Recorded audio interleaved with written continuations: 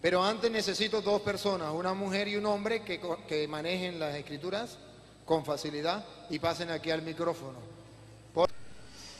Les digo entonces que normalmente ustedes escuchan a las personas decir, Cristo no fundó ninguna iglesia.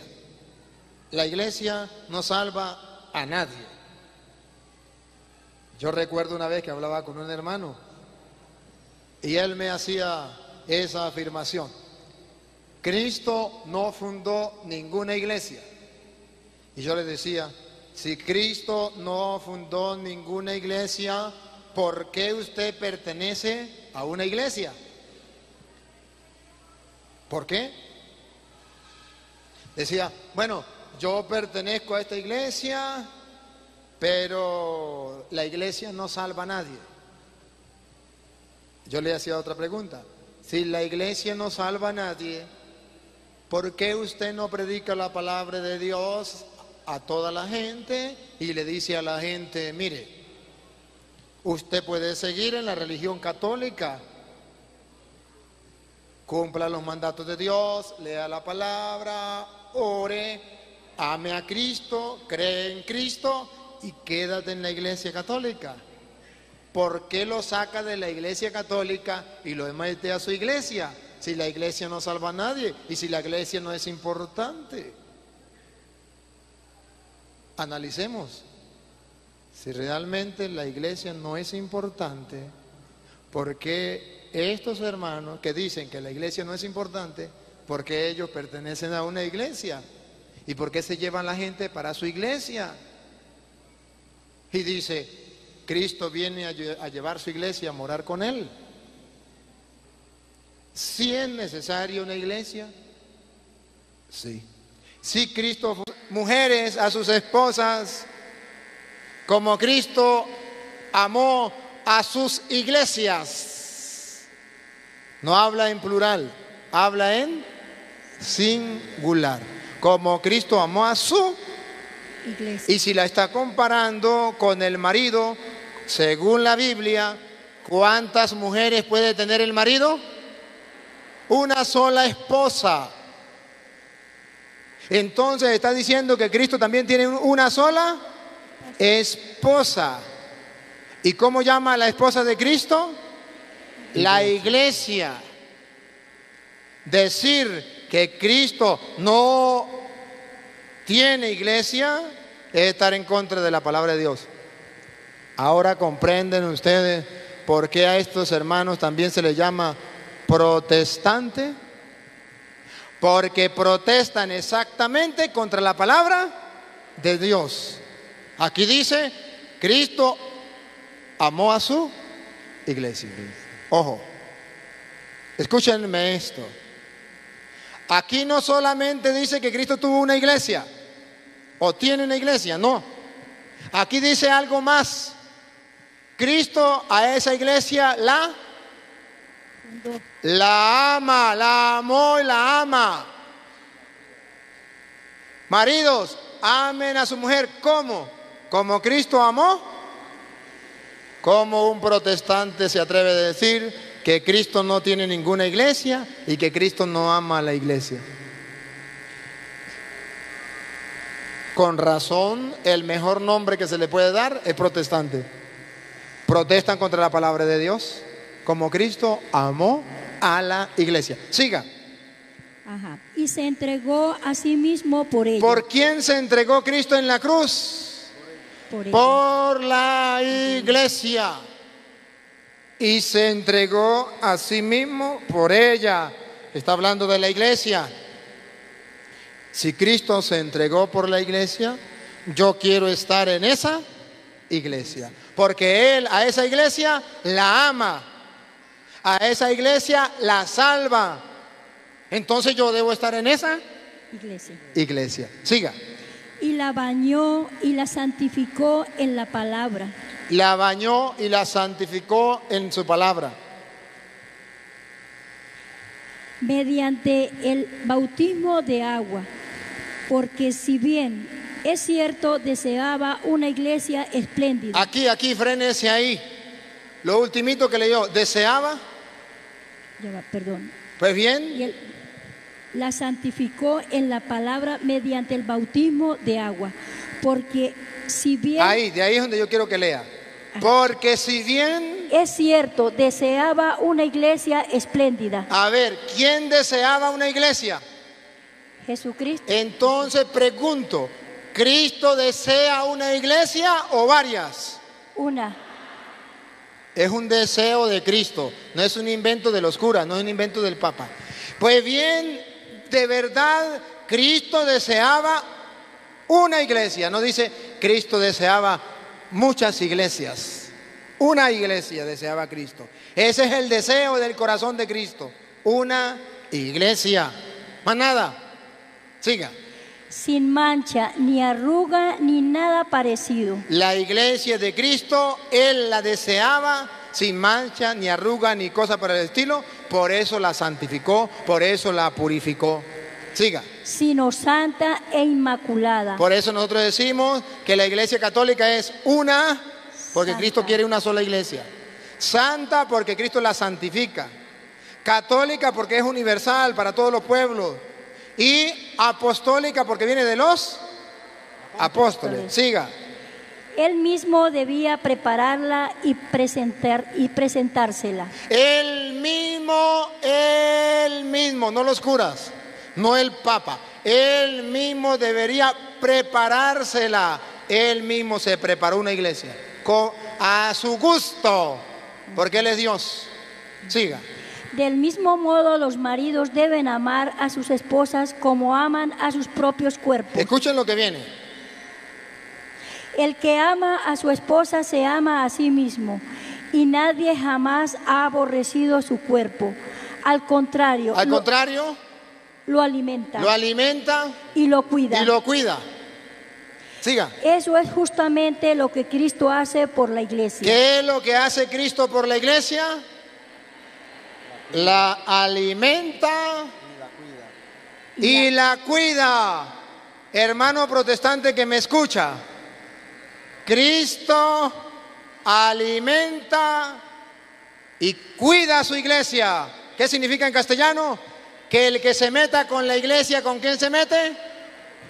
Con Dios. Con Cristo. ¿Dónde lo dice la Biblia?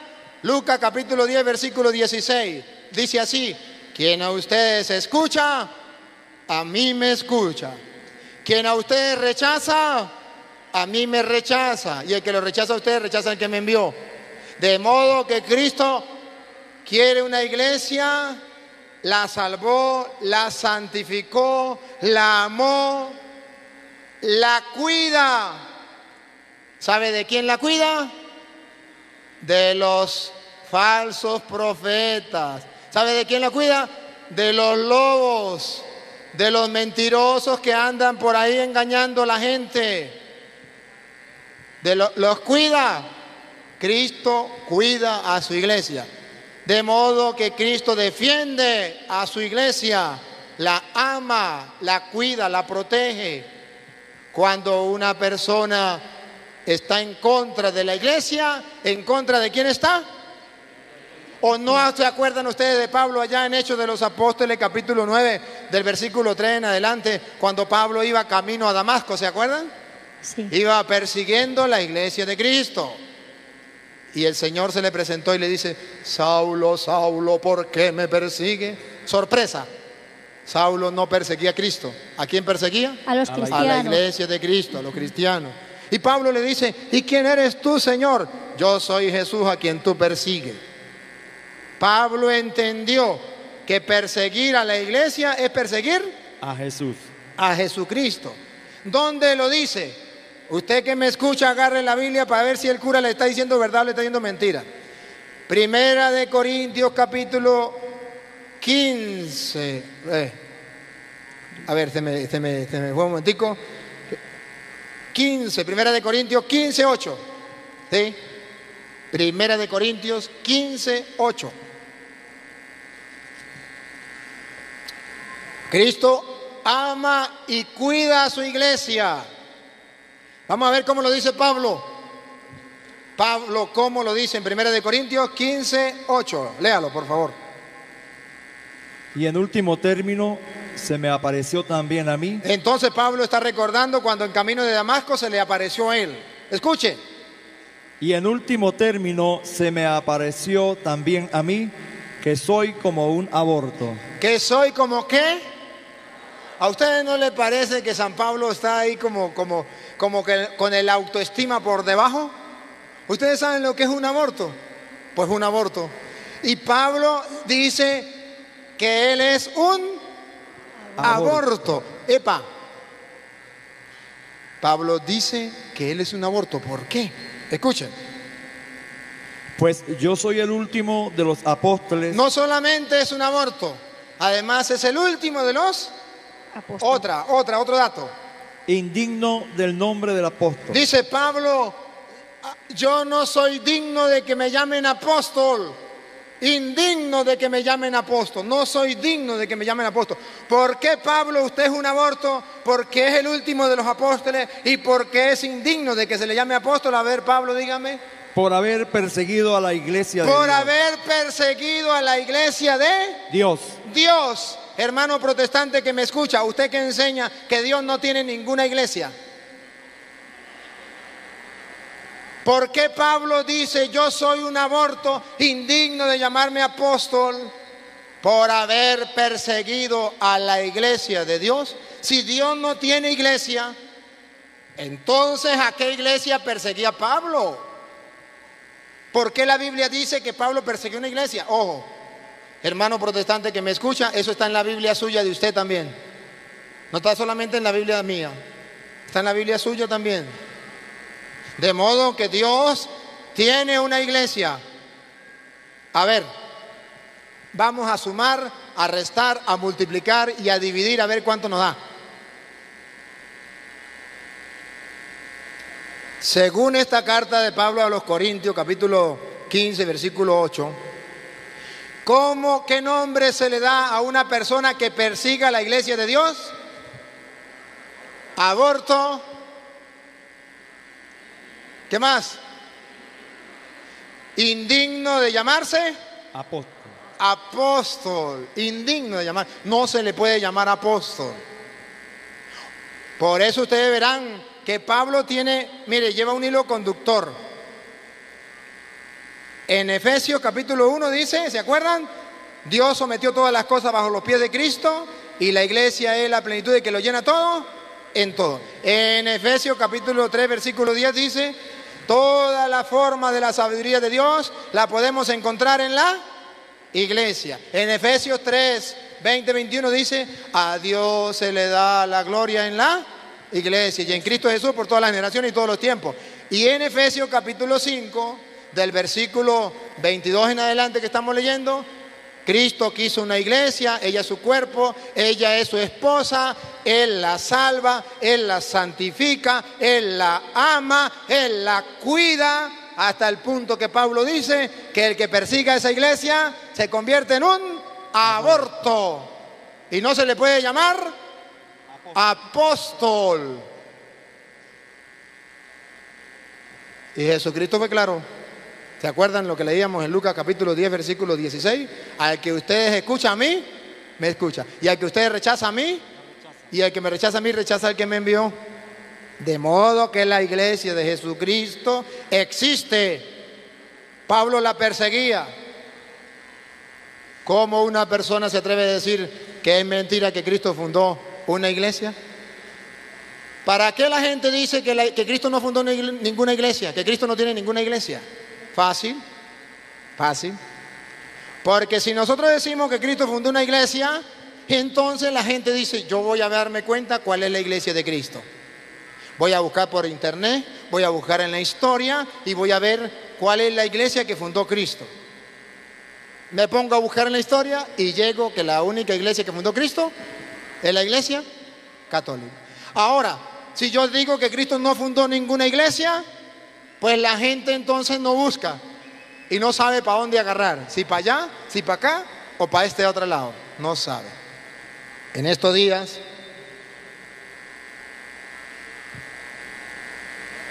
me tocó que ir a predicar por allá y me llegó un señor y me dijo, señor cura, necesito hablar con usted urgente. Yo le dije, ajá. Dijo, vengo decepcionado de mi iglesia. Y le dije, ¿qué? ¿Usted no era católico? Dijo, no, yo no era católico. ¿Y por qué viene decepcionado?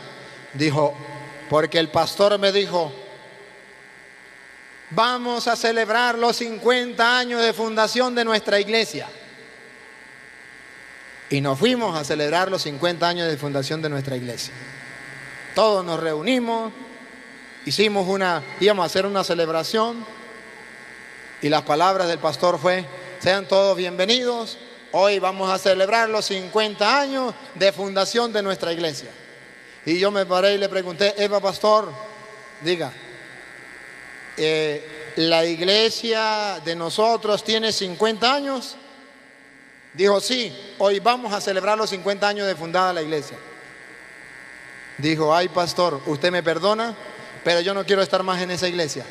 Yo quiero estar en la iglesia que lleva dos mil años, porque Cristo vino hace dos mil años y Él fundó una iglesia. Me voy a buscar esa iglesia, voy a ver cuál es esa iglesia.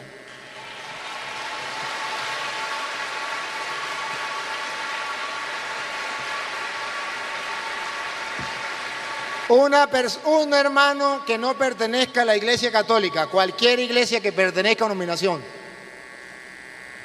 Si es una persona sabia, inteligente que busque la verdad, vaya a la historia y comience a buscar a ver cuántas iglesias fundó Jesucristo. ¿Y cuál es la única iglesia que fundó Jesucristo? ¿Y cuándo fue fundada su iglesia? ¿Y quién la fundó?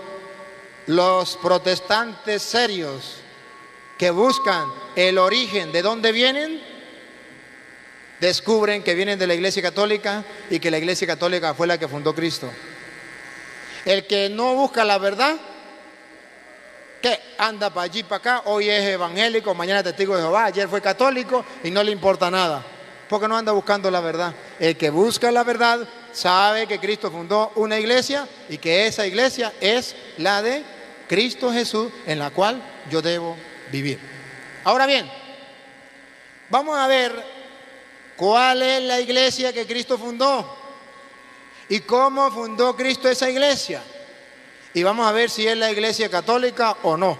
Ya nos dimos cuenta que Cristo fundó una iglesia que la ama, que la salva, que la cuida, que la protege. Vamos a ver ahora cuál es esa iglesia. Ayúdenme a ver para que ustedes descubran que sí Cristo fundó una iglesia. Vámonos a Marcos capítulo 3, versículo 13. Marcos 3, 13. Y ahí vamos a ver por qué nosotros creemos que Cristo fundó una iglesia y además que esa iglesia es la iglesia católica. Vamos a ver. Subió al monte y llamó a los que él quiso. Pare ahí un momentico. Ayúdenme a ver. Llamó a los que él quiso. En castellano significa que si Dios no llama, yo no puedo ser ministro de él. Llamó a los que él quiso. De, otra, de otro modo, no soy yo quien decido agarrar y ser pastor de la iglesia de Cristo. No, es Cristo quien me llama. Llamó a los que Él quiso. Quiso. No todos pueden serlo. El que Dios quiera. Eso es voluntad de Dios. Siga. Y vinieron junto a Él. Instituyó doce. Aquí está. Instituyó 12. Pregunto, ¿por qué no fueron 13? ¿Por qué no fueron 11? ¿Por qué no fueron 10? ¿Por qué fueron 12? Instituyó 12. Porque recuerden que el antiguo pueblo de Cristo era el pueblo de Israel, y estaba representado por las doce tribus de Israel. Ahora Cristo va a fundar un nuevo pueblo, una nueva iglesia, que estaba figurada en las doce tribus de Israel. Para que haya la figura de las doce tribus de Israel, ¿a cuántos llamó? Doce. Los instituyó a los doce. Yo lanzo una pregunta. Yo lanzo aquí una pregunta. Si Cristo no quería ninguna iglesia, ¿por qué instituyó doce? ¿Por qué no comenzó a predicar a diestra y siniestra y le decía a todo el mundo, ustedes lo que escuchen, predíquelo, pero aquí no hay apóstoles, aquí no hay nada de esto? Todos ustedes son iguales y cada quien puede agarrar la palabra de Dios, interpretarla a su manera y predicarla a su manera, pero aquí apóstoles ninguno. Todos ustedes son iguales. Y el que quiera, escuche y predique lo que le venga en gana. No, escuche lo que dice. Instituyó 12, siga. Para que estuvieran con él y para enviarlos a predicar. ¿Para qué instituyó 12? Para enviarlos a Dos cosas. Para que estuvieran con él. Primero, para que estuvieran con él. De modo que Jesucristo llamó a los doce para que estuvieran con él. Primero los formó. No es que usted hoy es un borracho, un vagabundo, un sinvergüenza, mañana agarra la Biblia, la mete debajo del brazo y se autonombra pastor. Soy pastor, gloria al Señor, aleluya, y vengo a predicarle la palabra de Jehová. Así no se juega, así no se juega. Cristo llamó a doce, primero para que estuvieran Con él. con él, para que se formaran. Tres años los formó, tres años a los doce. A él le pareció bien así. ¿Qué? ¿Y qué? ¿Quién es más grande que él? Nadie. Le pareció bien así. Llamó a doce. Segundo, primero para que estuvieran con él. Y segundo, Y para enviarlos a predicar. ¿ve que no mandó a predicar a cualquiera? Para ir a predicar primero tiene que prepararse.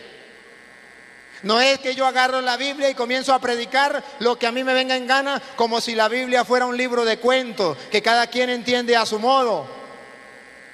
No, Señor. Los llamó para que estuvieran con Él y para enviarlos a Predicar. esto, para enviarlos a, de modo que Cristo tiene sus enviados. Sí tiene sus enviados. Sí tiene sus apóstoles. Claro que sí. Ahora, ¿cómo sabemos nosotros que la iglesia católica es la de Cristo? Ah, bueno, Cristo llamó a doce, que son los apóstoles, y los envió a predicar. Y ustedes saben que esa iglesia de Cristo estaba esperando la venida de Pentecostés, el Espíritu Santo. Y el día de Pentecostés vino el Espíritu Santo sobre la iglesia. ¿Y cuál era la iglesia que estaba allí en Pentecostés? Dicen los evangélicos, la nuestra, gloria al Señor, aleluya. Dicen los pentecostales, la nuestra, porque nosotros somos pentecostales, venimos de Pentecostés. Pentecostés es una fiesta, no una iglesia. Y ahí en Pentecostés es que comienza la iglesia a evangelizar. ¿Cómo sé yo cuál era la iglesia que estaba allá? Vamos a tomar fotos. Ustedes me van a ayudar. La Biblia dice que el Espíritu Santo vino el día de Pentecostés sobre la iglesia y eso está en el capítulo 2 de Hechos de los Apóstoles. Pero vamos a ver cuál era la iglesia que estaba esperando a Pentecostés.